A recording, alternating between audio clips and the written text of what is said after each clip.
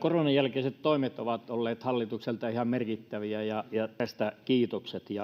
Täytyy lähteä pikkuhiljaa liikkeelle, ensin elvytystoimilla ja sitten investoinneilla. Me kaikki tiedämme, että meidän väyläverkostossa on korjausvelkaa. Me tarvitsemme sitä vähentää, ja tällä tavalla elinkeinoelämän verisuonistoa kehitetään.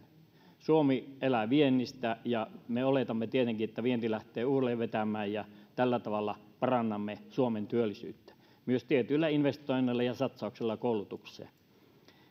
Pidän erittäin merkittävänä tätä koko rahasummaa. Elvytystoimiin kaiken kaikkiaan 3,6 miljardia, ja tätä ei näköjään oppositio hyväksy.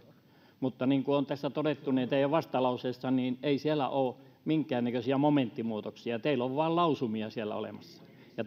Tämä osoittaa sen, että te olette samalla linjalla. Hallituksen toimenpiteet ovat merkittäviä ja teidänkin mielestänne. — Kiitos. Edustaja Pirttilahti. Arvoisa